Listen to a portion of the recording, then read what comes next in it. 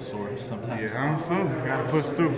I. How does this compare to high school camps and preseason? Oh, it's way different. Way more competition. Way more up tempo. Uh, everybody's competing for a job. You know, everybody's good in college.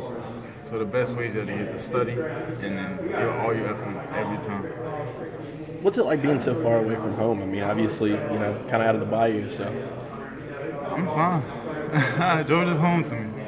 My new home. How who's been helping you kind of adjust, I guess, to uh, to life in Athens and life around here? My teammates, you know, they they show me different places. You know, they keep they keep me um you know like uh they're making Georgia feel like home to me. They you know like the food and everything. You know, have they've been great to me. All the seniors. Uh, what about Coach McClendon? Obviously, you guys have you know been working pretty close out there. How does he compare, I guess, from recruiter to now positional coach? Same guy.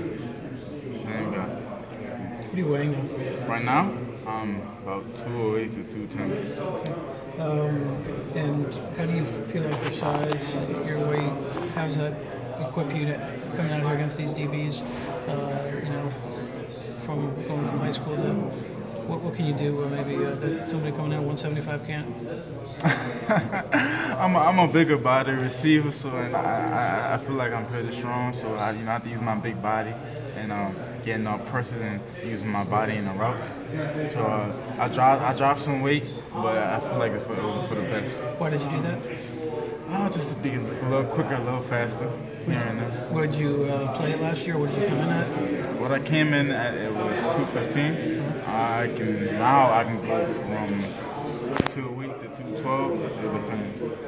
Did you see Georgia much last year, and, and how much did you know about Michael Bennett and Chris Conley, what they brought to the team? Oh yeah, I was I watched a majority of the game. I watched how Michael Bennett was an assistant player, Chris Conley was an athletic assistant player, smart guy.